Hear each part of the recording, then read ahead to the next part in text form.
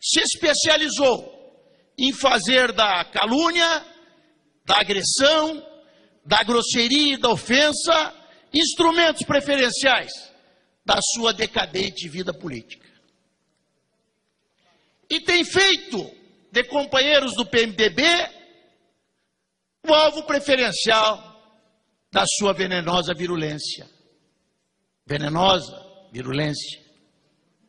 Em primeiro lugar, apoiou o seu irmão, que aqui esteve, querendo se justificar depois de ter ofendido todos os deputados dessa casa.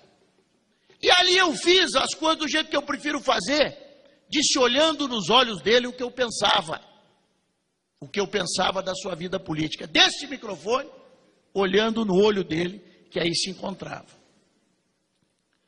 Depois, o alvo do senhor Ciro foi o deputado Eduardo Cunha. Não mediu ofensas no sentido de desqualificar o presidente, que vive um momento em que efetivamente tem que prestar explicações à sociedade, mas é o presidente da Câmara Federal. Pense, senhor, se, se, se os, os membros da oposição se julgassem no direito de se dirigir a presidente da República com tudo aquilo que tivesse vontade de dizer, com tudo aquilo que viesse à sua boca. O mínimo de educação que deve ter o homem, público impede a muitos membros da oposição de fazer isso.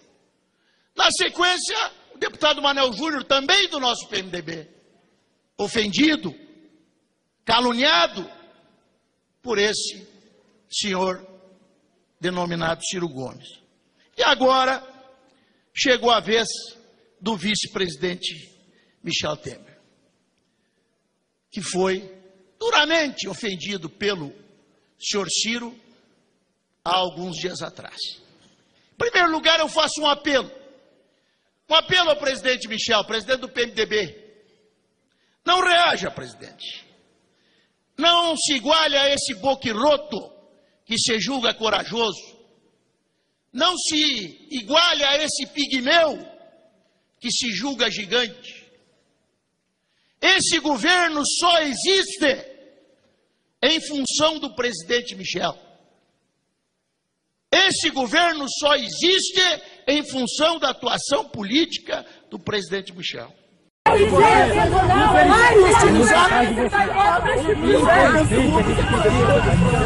Eu sou um deputado de oposição.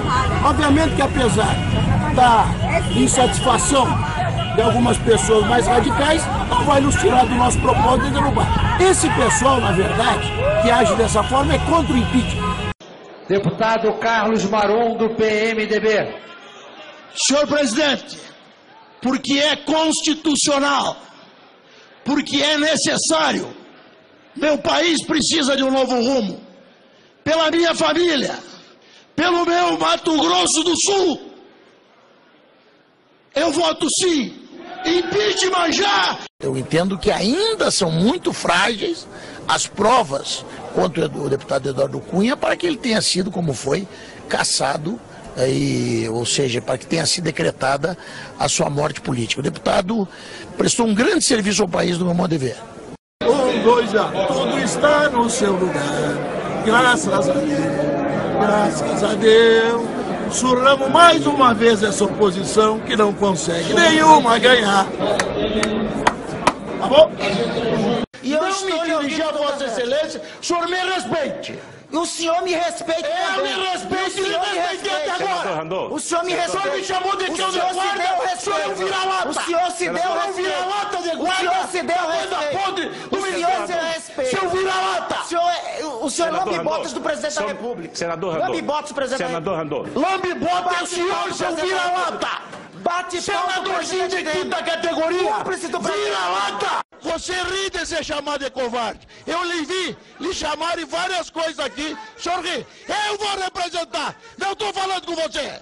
Senhor encerre, por favor. Eu vou representar.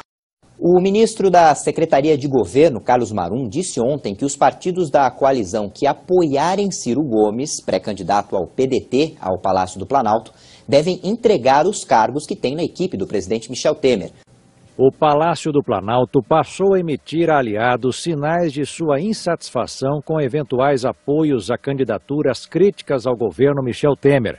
Essa atitude do, do do senhor Ciro Gomes em procurar partidos que estão no governo, uh, ao mesmo tempo que ele enxovalha o governo, ao mesmo tempo que ele diz que tudo que o governo fez foi errado.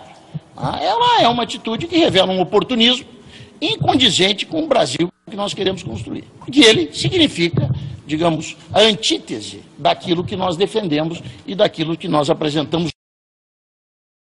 Um relatório da Polícia Federal afirma que o Ministério do Trabalho fraudou pareceres para favorecer o ministro da Secretaria de Governo, Carlos Marum. A informação é da Folha de São Paulo.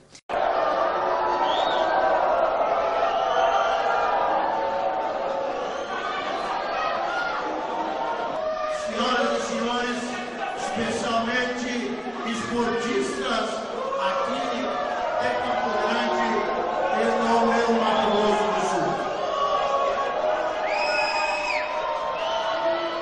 Eu não sou uma pessoa que busca um aplauso fácil. Estava na calçada. Enquanto falava com jornalistas, ele foi ofendido por um casal que passava de moto e revidou. Ladrão! Ladrão!